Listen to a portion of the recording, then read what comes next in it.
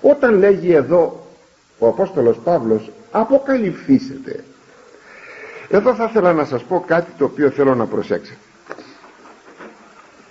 αποκαλύπτω θα πει έχω κάτι κρυμμένο και τραβώ το κάλυμα και το αποκαλύπτω που σημαίνει αυτό το κάτι υπάρχει δεν είναι δηλαδή εκτός πραγματικότητας εκτός υπάρξεως όταν έχω αυτό το κουτί εδώ αυτό το κουτί και το σκεπάζω.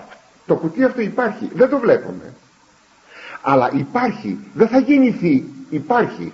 Τώρα τι θα πει αποκαλύπτεται. Τραβώ το κάλυμα και αποκαλύπτεται. Ξέρετε τι σημαίνει αυτό; Ότι ο Αντίχριστος θα υπάρχει στον κόσμο έως κάποια ηλικία. Και ξαφνικά θα αποκαλυφθεί. Δηλαδή θα έλθει στο προσκήνιο δεν μπορούμε λοιπόν να λέμε ότι μήπως ο Αντίχριστος γεννήθηκε ή ξέρετε γεννήθηκε.